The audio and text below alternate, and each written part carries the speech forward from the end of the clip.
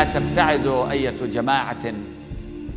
عن نهج الحسين عليه السلام إلا ويذيقهم الله عذاب الخزي ويلبسهم ثوب الذل ويديلهم بالصغار ويجعل بأسهم بينهم ثم لا ينصرون.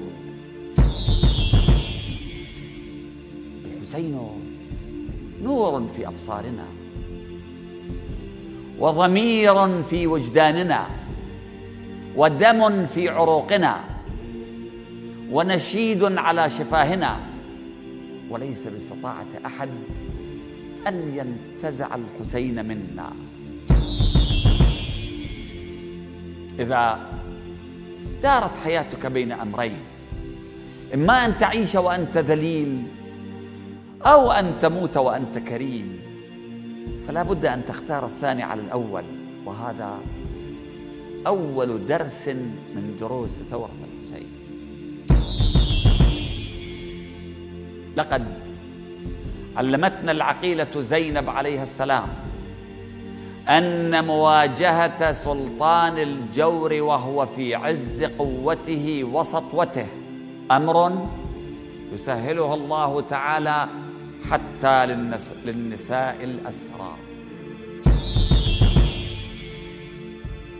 هل بقي بعد ثورة الحسين عذر لأحد في السكوت على الباطل والقبول بالظلم والطاعة للطاغوت؟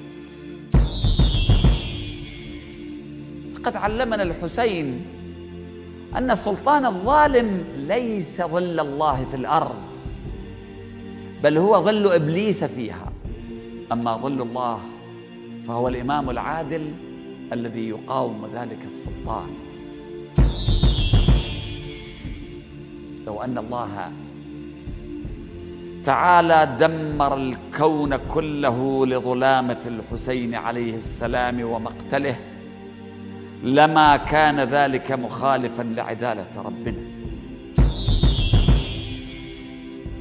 ضرب رسول الله صلى الله عليه وآله وسلم على رأس الشجرة الملعونة في القرآن ليقطعها. ولما كادت أن تسقط عمد دهاتهم إلى إظهار الإسلام وإبطاء الكفر ثم مالوا إلى أهل بيت النبي ليقطعوا رؤوسهم.